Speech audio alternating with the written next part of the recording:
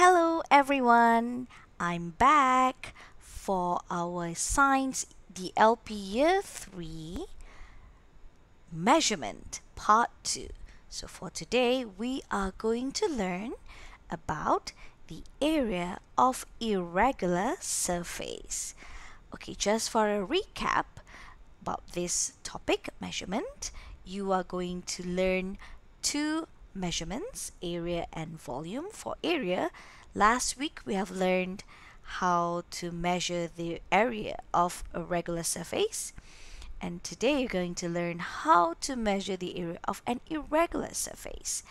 And then you're going to learn about volume. Okay, let's start. Now, I hope you still remember how we measure the area of a regular surface. For example, um, this yellow card, which is 3 centimeters by 2 centimeters. So what we did last week was we used a red squares. The, these red, red squares are actually 1 centimeter long and 1 centimeter wide. So it is 1 square centimeter squares okay? So remember we arrange these red squares on top of the yellow card. So then we counted the red squares and we got six square centimeters for the area of the yellow card. But now comes the question what if we have an object that is irregular shaped it has an irregular surface. For example, this cute leaf. So how are we going to measure its area? So if we were to use the same red 1 cent square centimeters, okay, uh, but how are we going to arrange it onto this leaf? Hmm. So that is what we're going to learn today. So now I need you to open your Science Year 3 textbook, page 83. So now for irregular surface, the best we can do is actually we can only estimate. Okay, we can estimate the area of irregular surfaces. There are various objects around us that have irregular surface areas. Now look at this picture. State the objects that have irregular surfaces in this situation below. So by looking here, you can see it is focused on this girl's hand. And on her hand is a nice starfish. So this starfish has an irregular surface. Alright now, we can estimate the area of an irregular surface by using a 1 centimeter by 1 centimeter paper squares or graph paper. Aha, this is a graph paper. Okay, so today you will be introduced to this graph paper. Um, we usually see the lines of graph papers in blue or sometimes green and I've also seen red. So it can come in many colors but usually it's only one color okay? So if we measure the squares on the graph paper it is actually one centimeter long and one centimeter wide.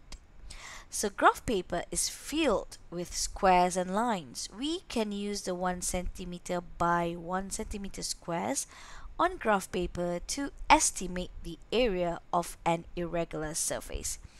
Okay, don't worry about this because we are going to do an activity that really measure the area of an irregular surface in just a minute.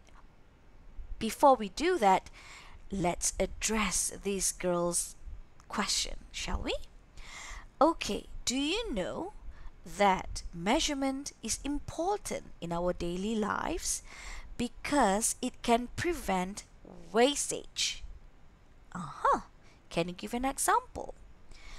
okay she is saying um, about measurement how it is important so that we can prevent wastage so measurement as we know um, like last year when you were in year two you have learned about measuring length right so and now you are learning about area so let's let's think of an example of the importance of correct measurements to prevent wastage. Okay. Mm. Aha. Let's say, for example, your dad wants to buy a carpet, a new carpet for your living room. So if you measured the area of your living room wrongly, your dad might have bought a carpet that is too large or maybe too small and that is wastage right? So can you think of other examples? I'm sure you can. Okay so now let's try and do this activity on page 84 of your textbook okay now these two pupils here kina and langi they are trying to estimate the surface area of a leaf. So they have a leaf and what they do is they put the leaf on the graph paper and then sketch the shape of the leaf. Just sketch it. It means you trace along the perimeter of the leaf. Okay? And then you remove the leaf and then what you do is can you see the red ticks or the check marks the red check marks and also the blue ones tick red for each full square and blue for each half square and more than half square and then what you do is you count all the red and the blue check marks. Okay? So they have done it and they got their answer 15 square centimeters. So this is what we are going to do now, okay?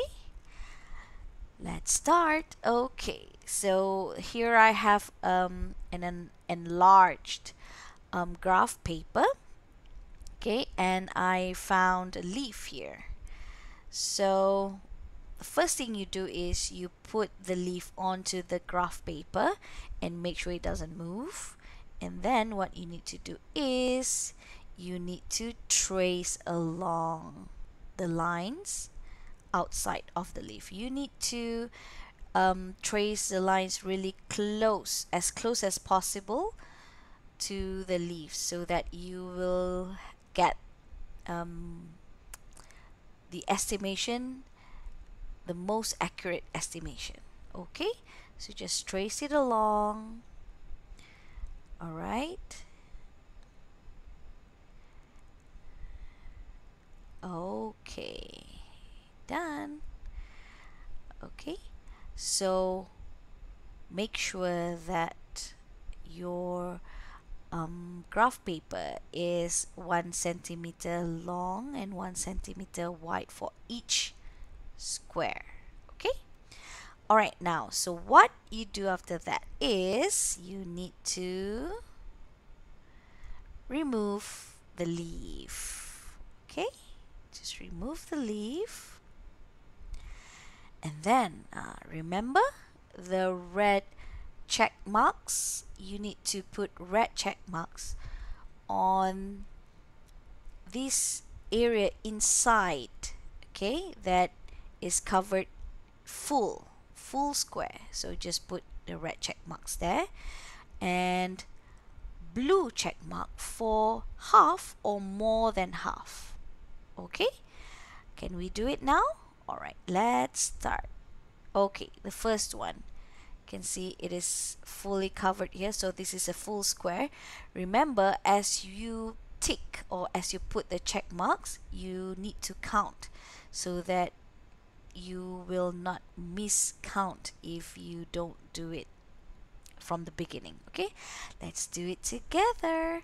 One two three, four, five, six, seven, eight, nine, ten, eleven, twelve, 13, 14, 15, 16, 17, 18, 19, 20, 21, 22, 23, 24, 25, 26, 27, 28, 29, 30, 31, 32, 33, uh-huh, not that one, 34, 35, 36, 37, 38, 39, 40, yes, 41, 42, 43, 44, 45, 46, 47, 48. Uh, what about this last one?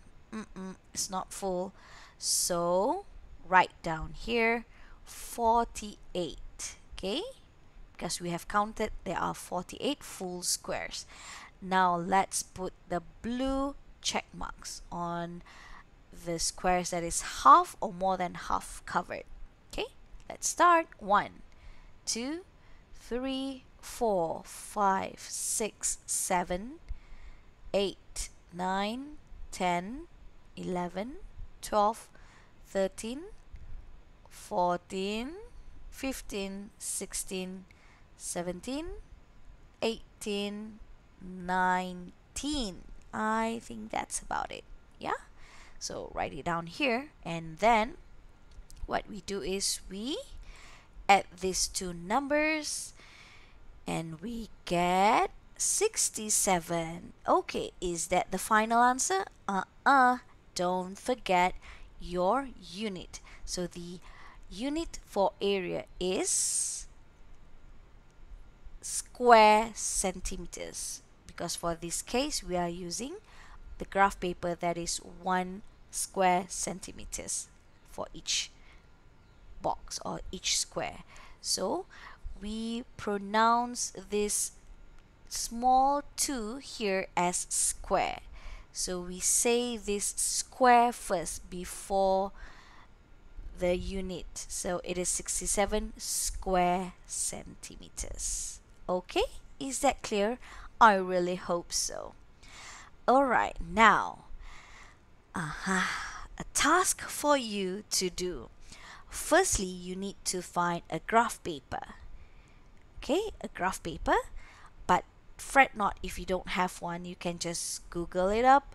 Just um, type in graph paper template or just graph paper and search for the image and then you can just print it out.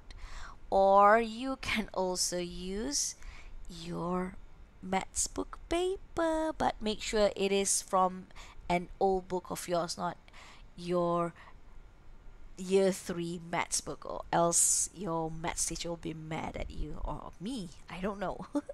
Okay now so for your task this week what I want you to do is I want you to measure the area of your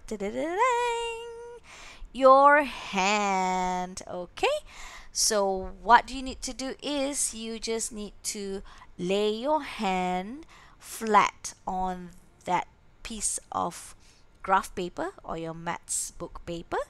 And then just like we did before we you just trace along the lines the outside lines of your hand.